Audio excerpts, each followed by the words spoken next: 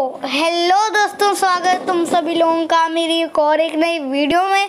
और आज की वीडियो के अंदर हम बात करेंगे टॉप फाइव ऐश के फायर टाइप पोकेमोन के फैक्ट्स के बारे में। और मुझे पता है तुम फैक्ट वीडियो पे सच में बहुत अच्छा अच्छा सपोर्ट देते हो। तो यार चलो आज की वीडियो को स्टार्ट करते हैं। वीडियो पसंद आए, एक लाइक कर देना यार, और चैनल को सब्सक्राइब कर देना। फैक्ट वीडियो पर अच्छा सपोर्ट आता है। सच तो थैंक यू सो मच इतना। सपोर्ट देने के लिए। चलो, आज की वीडियो को स्टार्ट करते हैं। लेट्स बिगिन और हाँ आज एडिटिंग में थोड़ी और मेहनत करी तो बताना कैसे लगी थंबनेल में भी। चलो स्टार्ट करते हैं और होप सो तुम्हारे को वीडियो और पसंद आए। चलो, आज की वीडियो को स्टार्ट करते हैं। तो number one fact oh number one नहीं नंबर फाइव से स्टार्ट करते हैं।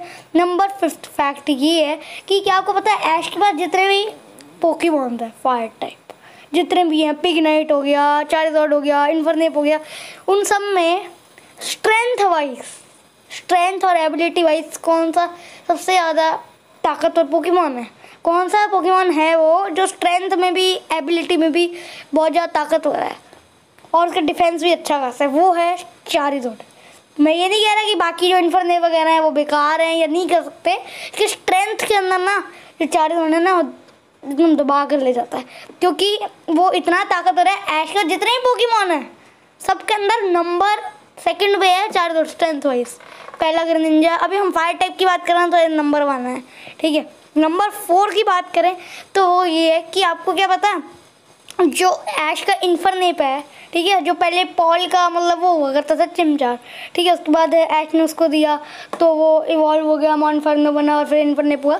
तो जब ऐश और पॉल की बैटल हो रही थी तो पॉल के इलेक्ट्रिम ने ऐसा मतलब जब उसको पंच मारा था, ना थंडर पंच मारा था तो जब उसको थंडर पंच लगा था तो पहले वो फेंट हो गया था। लेकिन फेंट होने के बाद उसने ऐश के इन्फरनेप में कौन सा मूव किया, जिससे कि ऐश का इन्फरनेप जीत गया? तो उसका वो था ब्लेज वाला मूव फायर ब्लेज वाला मूव और और एक था फायर पंच उसने इतनी ज़ोर का मारा उसको और उसकी ब्लेज एक्टिवेट हुई, जिससे कि मतलब पॉल के इलेक्ट्रिक की तो बैंड बढ़ गई सच में, और मज़ा आ गया वो देखकर।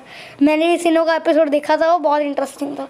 तो हाँ अगर तुम्हें तुमने, मैंने एक वीडियो भी बनाई थी जिसके अंदर मैंने सारा एक्सप्लेन किया था इलेक्ट्रिक वर्सेस इन्फरनेप तो वो जाकर देख सकते हो। मैं डिस्क्रिप्शन लिंक दे दूँगा, या यहीं वही मतलब मेरे चैनल पर सर्च करने ना मिल जाएगी। तो मैं, वही टाइटल टाइटल था Paul versus Paul electric versus Ash Infernape ठीक है? तो अगर तुम्हें देखनी हो, देख लेना। मैं डिटेल में समझाया था। चार मिनट की वीडियो देख लेना। तो हाँ अब नेक्स्ट फैक्ट की तरफ़ बढ़ते हैं। तो नेक्स्ट फैक्ट ये है कि ऐश का ना सबसे ज़्यादा वीकेस्ट फायर टाइप पोकीमोन कौन सा यानी कौन सा पोकीमोन है फायर टाइप में कि बहुत ज़्यादा वीक है? अब मैं हाँ ये नहीं कहूँगा कि वो बहुत ज़्यादा वीक है।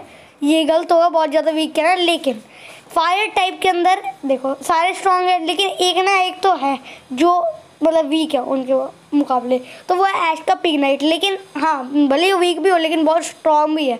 मैंने एक ऐश के पिकाचू वर्सेस पिग नाइट का भी बनाई थी तो वो वीडियो जाकर देख लेना।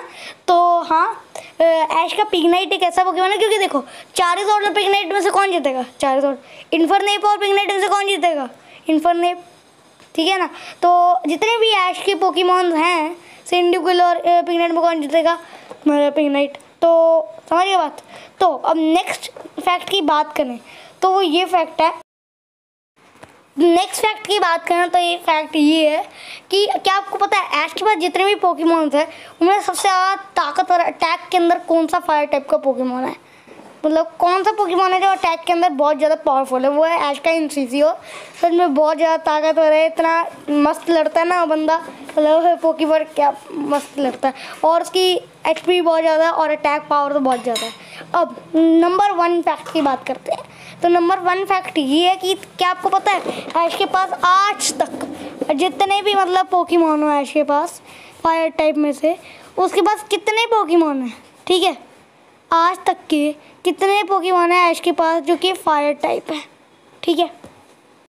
तो ऐश की जितने भी मतलब पोकेमोन है हाँ तो जितने भी ऐश के पास अभी तक पोकेमोन है फायर टाइप उनमें से सबसे ज़्यादा बेस्ट रैंकिंग किसको मिली है? अब तुम क्या हो गए इंसीजियर नहीं। इन्फरनेप ना।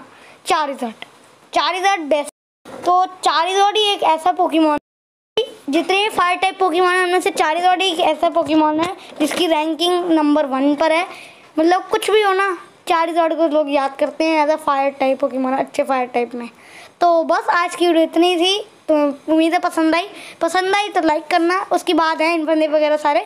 तो और चैनल को सब्सक्राइब कर देना है thank you so much for watching bye bye tata जय हिंद, वंदे मातरम। पीस आउट जय हो, जय भारत।